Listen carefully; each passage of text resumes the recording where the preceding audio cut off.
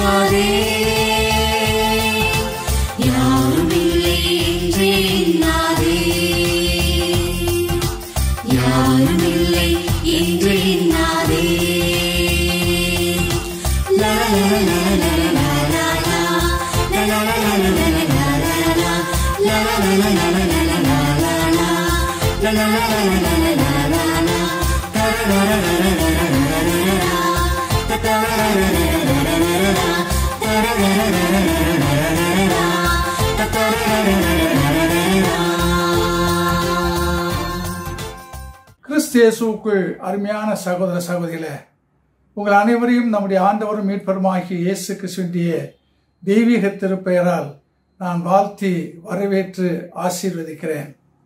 இன்றைக்கு மனம் திரும்புதல் என்பதை பற்றி நாம் தியானம் செய்வோம். த ரிப்பண்டன்ஸ் ஆண்டவர் இயேசு கிறிஸ்து சொன்ன ஒரு வார்த்தையை உங்களோடு பகிர்ந்து கொள்ள விரும்புகிறேன். மனம் திரும்புங்கள் பரலோகராட்சியம் சமீபமாயிருக்கிறது. மத்தேயு நான்காம் அதிகாரம் பதினேழாம் வசனத்திலே பார்க்கலாம். மனம் திரும்புதலை மூன்று தலைப்புகளிலே நாம் தியானம் செய்வோம். மனம் திரும்புதல் அசுத்தத்தை அகற்ற உதவுகிறது. முதல் தலைப்பு. இரண்டாவது தலைப்பு மனம் திரும்புதல் ஆயுளை அதிகப்படுத்த உதவுகிறது. மூன்றாவது தலைப்பு மனம் திரும்புதல் ஆசீர்வாதங்களை அனுபவிக்க உதவுகிறது. முதல் தலைப்பாக சொன்னேன் மனம் திரும்புதல் அசுத்தங்களை அகற்ற உதவுகிறது. ஒரு சகோதரன் ஒரு முறை சொன்னார் நான் ஒரு சோப்பு போடுவதில்லை பல சோப்புகளை மாறி மாறி போடுவேன் என்று சொன்னார் ஏன் என்று கேட்டதற்கு ஒரு சோப்பு போட்டால் ஒரு சில அழுக்குகள் போகாமல் இருக்கலாம்.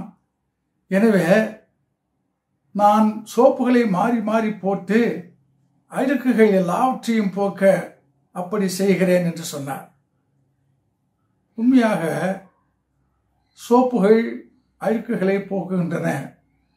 அது இல்லை என்று சொல்ல முடியாது. ஆனால் சோப்பு உடலில் இருக்கிற அழுக்கை மட்டும்தான். நம்முடைய தோலில் இருக்கிற அழுக்கை மட்டும்தான் அது அகற்ற முடியும். ஆனால் மனம் திரும்புதல் என்பது உடலில் இருக்கிற அழுக்கை மட்டுமல்ல நம்முடைய உள்ளத்தில் இருக்கிற அழுக்கையும் அது மாற்றி போடுகிறது. ஆகவேதான் நம்முடைய ஆண்டவராகிய இயேசு கிறிஸ்து நம்மை பார்த்து சொன்னார் மனம் திரும்புங்கள் ஏனென்றால் நீங்கள் பரலோக ராஜ்யத்துக்குரியவர்கள். எனவே மனம் திரும்பி ஆயத்தப்பட்டு பரலோக வாய்வை நீங்கள் அனுபவிக்க வேண்டும் என்று ஆண்டவன் நம்மை பார்த்து சொன்னார். அசுத்தங்களை அகற்றுகின்ற மனம் திரும்புதல் நமக்கு அவசியம்.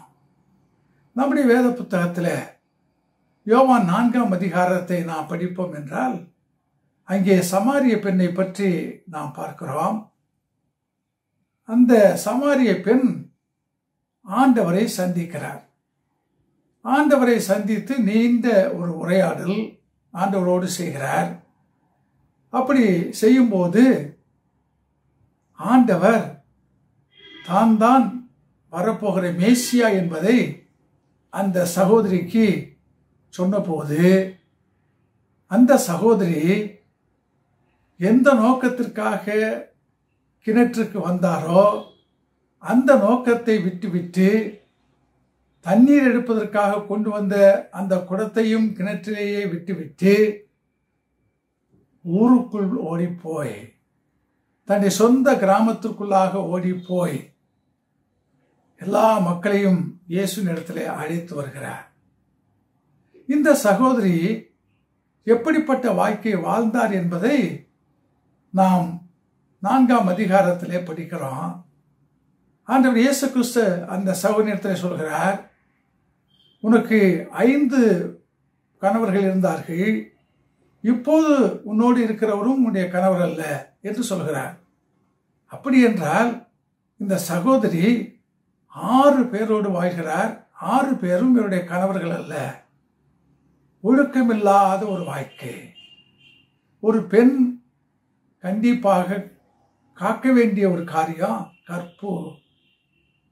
அந்த கற்பு இல்லாத ஒழுக்கமில்லாத வழிக்கு விழுந்த ஒரு வாழ்க்கையை வாழ்ந்து கொண்டிருந்த ஒரு சகோதரி.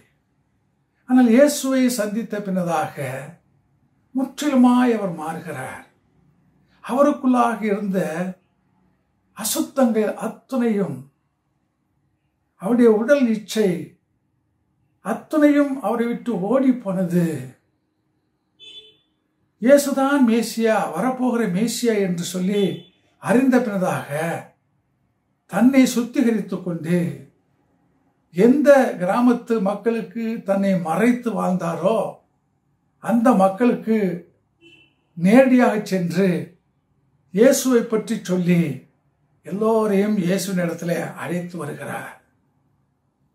அசுத்தங்களை மனம் திரும்புதல் அகற்றி போட்டது. அந்த சகோதரி இயேசுவை பார்த்த உடனே தனக்குள்ளாக ஒரு மனம் திரும்புதலை ஏற்றுக்கொண்டார். அவருடைய உள்ளத்தில் மனம் திரும்புதல் ஏற்பட்டதினாலே அவர் மிகப்பெரிய ஊழியக்காரியாக இயேசுவை பற்றி பேசக்கூடிய ஒரு சகோதரியாக மாறினார் என்பதை நாம் நான்காம் அதிகாரத்தில் படிக்கிறோம். மனம் திரும்புதல் அசுத்தங்களை எல்லாம் அகற்றி போட உதவி செய்கிறது. ரெண்டாவதுல பா சொன்னேன் மனம் திரும்புதல் ஆயுளை அதிகப்படுத்த உதவுகிறது. அருமையான சகோனிய சகோதரிய நம்மிலே பலர் நாமும் கூட அப்படி இருக்கலாம். நீண்ட காலம் வாழ்வதற்காக என்ன செய்கிறோம்? நடக்கிறோம். உடற்பயிற்சி செய்கிறோம். எப்படிப்பட்ட உணவை உண்ண வேண்டும் என்று பார்த்து பார்த்து நாம் உண்ணுகின்றோம். இப்படி நீண்ட ஆயுளோடு பல ஆண்டுகள் வாழ வேண்டும் என்று சொல்லி நாம் பல காரியங்களை செய்கிறோம். நல்லதுதான். இப்படிப்பட்ட காரியங்களை செய்வதனால நம்முடைய ஆயுள் கூடலாம் அல்லது கூடாமல் போகலாம். உடற்பயிற்சி செய்வதனாலே நிச்சயமாக உறுதியாக நாம் நீண்ட காலம் வாழ்வோம் என்று நாம் சொல்ல முடியாது. ஆனால் மனம் திரும்புவோம் என்றால் நிச்சயமாக உறுதியாக நீங்களும் நானும் நீண்ட காலம் வாழ்வோம். நீண்ட காலம் வாழ்வோம். நம் யோனாவினுடைய புத்தகத்தை நாம் பார்ப்போம் என்றால் அங்கே நினைவே மக்கள் பாவம் செய்கிறார்கள். அப்படி பாவம் செய்கிற மக்களிடத்தில் கர்த்தராகிய கடவுள் யோனாவை அனுப்பி அவருடைய பாவம் அதிகப்பட்டதினாலே அவளை நான் அழித்து போடுவேன் என்று சொல்லி அனுப்புகிறார். அப்படி அனுப்பின அந்த சம்பவத்தை நாம் பார்க்கிறோம். குறிப்பாக நான் சொல்ல விரும்புவது என்னவென்றால் மூன்றாம் அதிகாரத்தினுடைய பத்தாம் வசனத்தை நாம் பார்ப்போம் என்றால் அங்கே அந்த நினைவே மக்கள் மக்கள் மட்டுமல்ல நினைவே நாட்டினுடைய அரசர் அமைச்சர்கள் எல்லோரும் இன்னும் சொல்லப்போனால் உயிர் வாழ்கின்ற விலங்குகள் அத்தனையும் ஆண்டவுடைய பிரசன்னத்தை உணரத்தக்கதாக ஆண்டவருக்கு முன்னதாக அலறி உண்ணாமல் எதையும் குடிக்காமல் ஆண்டவரிடத்தில் தங்களுடைய பாவத்தை அறிக்கை செய்தார்கள் என்பதை நாம் பார்க்கிறோம். அப்படி அறிக்கை செய்த மக்களை பார்த்த கர்த்தராகிய கடவுள் மூன்றாம் அதிகாரம் பத்தாம் வசனத்தை நாம் பார்ப்போம் என்றால் அங்கே ஆண்டவர் அந்த மக்களுடைய செயல்களை பார்த்து தான் அவளுக்கு செய்ய வேண்டும் என்ற அந்த தீங்கை பற்றி அதை செய்யாமல் விட்டு மனஸ்தாபப்பட்டு ஆண்டவர் அந்த செயலை செய்யாமல் விட்டு விட்டார் என்று சொல்லி நாம் பார்க்கிறோம். அருமையான சகோதரிய சகோதரிய இங்கே நினைவு மக்கள் அந்த பாவத்தை பற்றிய ஒரு உணர்வு ஏற்பட்டு உண்ணாமல் எதையும் குடிக்காமல் ரெட்டுடுத்தி சாம்பலிலே அமர்ந்து தங்களுடைய பாவத்தை அறிக்கை செய்தது இல்லாமல் இருந்தால் யோசித்து பாருங்கள் நினைவே அன்றைக்கே அழிந்திருக்கும். நினைவே இன்றைய மக்கள் அன்றைக்கே அழிந்திருப்பார்கள். ஆனால் நினைவே இன்றைய மக்கள் ஆண்டவருக்கு முன்பதாக மனம் திரும்பி தங்களுடைய பாவத்தை அறிக்கை செய்து அதை விட்டு விட்டதினாலே ஆண்டவர் அவளுக்கு பாவ மன்னிப்பை கொடுத்து அவளை அழிப்பேன் என்ற அந்த எண்ணத்திலிருந்து ஆண்டவர் தன்னை மாற்றிக்கொண்டு அவர்களுக்கு தொடர்ந்து வாழக்கூடிய அந்த ஆசீர்வாதத்தை கொடுத்தார். சகோனே சகோதரிய மனம் திரும்புதல் நினைவே மக்களுக்கு மட்டும் அதிகமான ஆயுளை நீண்ட ஆயிலை கொடுத்தது என்று நாம் சொல்லாமல் நீங்களும் நானும் மனம் திரும்பினால் நமக்கும் கூட கடவுள் நீண்ட ஆயிலை அதிக ஆண்டுகள் வாழக்கூடிய பாக்கியத்தை நிச்சயமாய் நமக்கு தருவார். எனவே மனம் திரும்புதல் அதிகமாக அதிக ஆண்டுகள் வாழக்கூடிய ஆசீர்வாதத்தை நமக்கு தருகிறது என்பதை இன்றைக்கு நாம் தெரிந்து கொள்வோம். மனம் திரும்புவோம். மனம் திரும்புவோம்.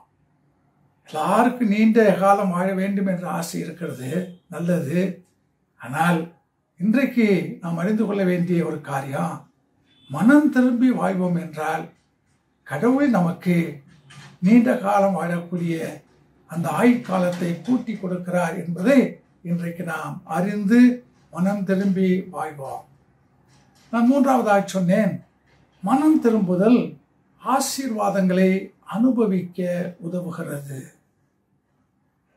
மனம் திரும்புதல் ஆசீர்வாதங்களை அனுபவிக்க உதவுகிறது.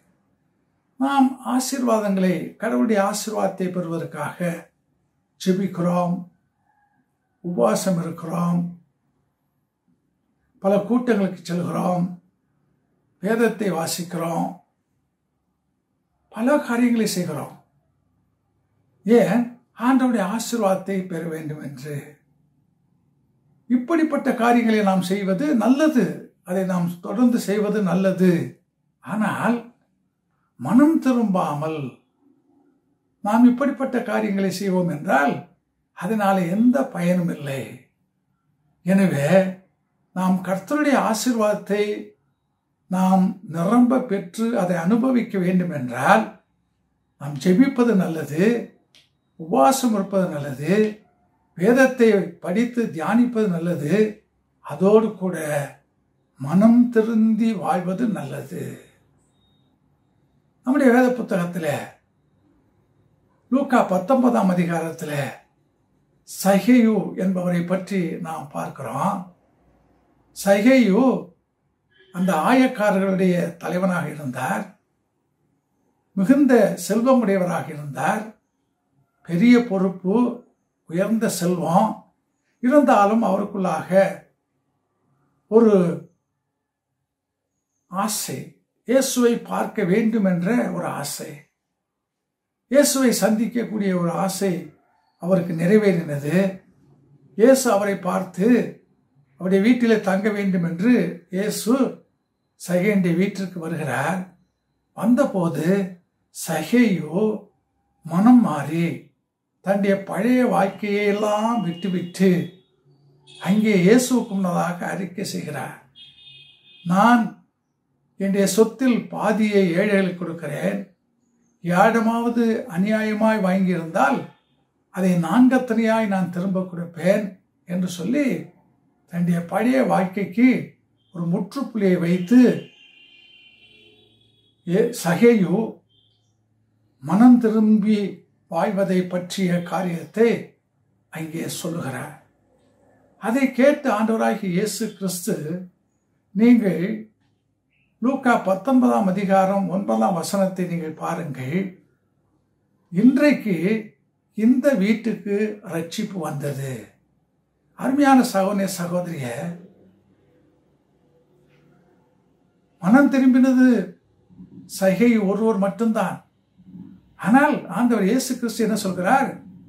இந்த ஒரு மனிதனுடைய அந்த மனம் திரும்புதலினாலே இந்த குடும்பத்திற்கே இந்த வீட்டிற்கே ரட்சிப்பு வந்தது என்று சொல்கிறார். அதோடு மட்டும் ஆண்டவர் நிறுத்திவிடவில்லை சகேவும் ஆப்ரஹாமின் குமாரன் தானே.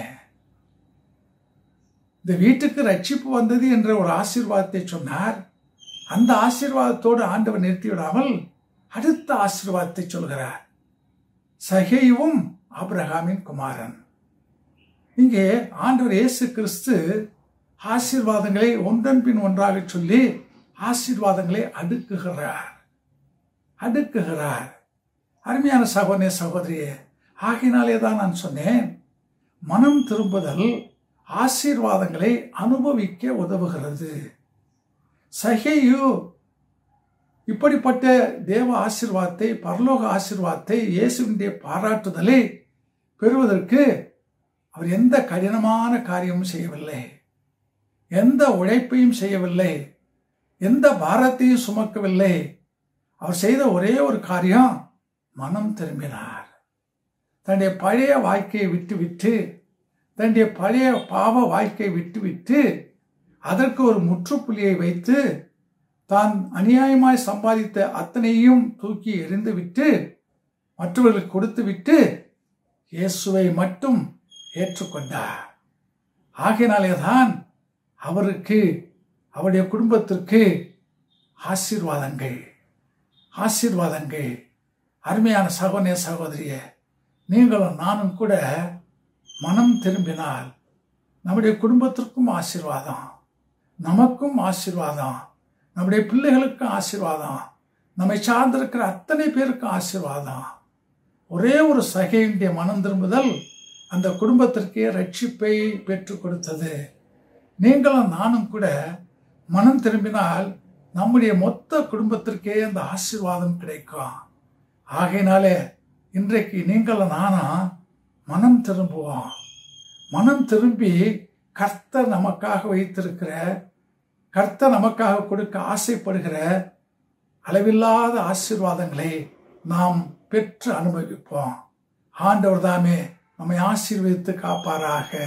ஆமேன். பிதா குமாரன் பரிசுத்தாவின் திருப்பெயரிலே. ஆமேன். கிறிஸ்துவுக்குள் எனக்கு அன்பான இறை மக்களே ஆயர் பெருமக்களே பல்வேறு நிலைக்குழுக்களில் இருக்கிற அங்கத்தினர்களே பல்வேறு நிறுவனங்களில் தலைமையேற்றிருக்கிற தலைவர்களே உங்கள் அனைவரையும் இயேசு கிறிஸ்துவின் தூய திருப்பெயரிலே நல்வாழ்த்துக்களையும் வணக்கத்தையும் தெரிவித்துக் கொள்கிறேன். இந்த நோய் தொற்று காலத்திலிருந்து நாம் கொஞ்சம் கொஞ்சமாய் மீண்டு நியூ நார்மலுக்கு வந்திருக்கிறோம் கொண்டு கொண்டிருக்கிறோம். இப்படிப்பட்ட சூழ்நிலையில் தொடர்ந்து நாம் தடுப்பூசி எடுப்பதையும் முகக்கவசம் அணிவதையும் தவறாமல் நீங்கள் கடைபிடிக்கும்படி கேட்டுக்கொள்கிறேன். நாம் இந்த பெரும் நோய் தொற்றிலிருந்து விடுபடுவதற்கான முயற்சிகளை மேற்கொண்டிருக்கிற அதே வேளையில் புதிதாய் எங்கு பார்த்தாலும் டெங்கு காய்ச்சல் பரவிக்கொண்டிருக்கிறது அநேக திருச்சபை மக்களே இந்த பாதிப்புக்கு உள்ளாயிருக்கிறார்கள். எனவே நீங்கள் வாழ்கிற இடங்களில் நீர் நிலைகளிலே நீர் தேங்காமல் பார்த்து கொள்வதும் அங்கே கொசு பரவாமல் பார்த்து கொள்வதும் உங்களுடைய கடமையாய் இருக்கிறது. இது மழைக்காலம். அதிகமான மழை பெய்து கொண்டிருக்கிறது. எங்கு பார்த்தாலும் வெள்ளக்காடாக இருக்கிறது. தினம் தினம் ஒரு புது புயல் உருவாகி கொண்டே இருக்கிறது. இப்படிப்பட்ட சூழ்நிலையில் நாம் மிகவும் எச்சரிக்கையாய் இருக்க வேண்டும். நமக்கு தேவையான அத்தியாவசியமான பொருட்களை வாங்கி நீங்கள் பத்திரப்படுத்தி கொள்வது வைப்பது அவசியமாக இருக்கிறது இந்த மழைக்காலத்திலே நாம் எடுக்க வேண்டிய சேஃப்டி மெஷர்ஸ் எல்லாவற்றையும் நாம் எடுத்துக்கொள்ள வேண்டும். குறிப்பாக நம்முடைய நிறுவனங்கள் விடுதிகளிலே படிக்கிற பிள்ளைகளை நம்முடைய குடும்பத்தில் இருக்கிற பிள்ளைகளை ஜாக்கிரதையாய் நீர்நிலைகளுக்கு அருகாமையில் செல்லாத வகையிலே நாம் பார்த்து கொள்ள வேண்டும். மின்சார உபகரணங்களை பயன்படுத்தும் போது எச்சரிக்கையோடு அதை பயன்படுத்தும்படி உங்களை அன்போடு கூட கேட்டுக்கொள்கிறேன் குடிநீரை கொதிக்க வைத்து பருகுங்கள். தேவையில்லாத பயணங்களை தவிர்த்தும்படி உங்களை அன்போடு கூட கேட்டுக்கொள்கிறேன் இந்த காலகட்டங்களில் நம்மை சுற்றி ஏராளமான ஏழை எளிய மக்கள் வாழ்ந்து கொண்டிருக்கிறார்கள். அவர்கள் உறைவிடம் இல்லாமல் உணவில்லாமலும் கூட இருக்கலாம். ஒருவேளை நம்முடைய திருச்சபைகள் நம்முடைய கல்வி நிறுவனங்களை நோக்கி அப்படி தங்குவதற்கு வசதி இல்லாத மக்கள் வருகிற பொழுது அவர்களுக்கான ஆதரவை நீங்கள் தாருங்கள். முடிந்த அளவிலே திருச்சபையாய் இறைமக்களாய் அவர்களுக்கான பாதுகாப்பையும் உணவு தேவைகளையும் நீங்கள் சந்தியுங்கள். இது இந்த காலகட்டத்தில் நம்முடைய திருப்பணியின் முக்கியமான அங்கமாக இருக்கிறது. ஆயர்கள் இதனை அருள்கூர்ந்து திருச்சபை பாஸ்டேட் கமிட்டியோடு கலந்து நீங்கள் இந்த பணிகளை மேற்கொள்ளும்படி உங்களை அன்போடு கூட கேட்டுக்கொள்கிறேன். நன்றி. ஆண்டவர் தாமே உங்களை ஆசீர்வதித்து காப்பாராக. ஆமேன்.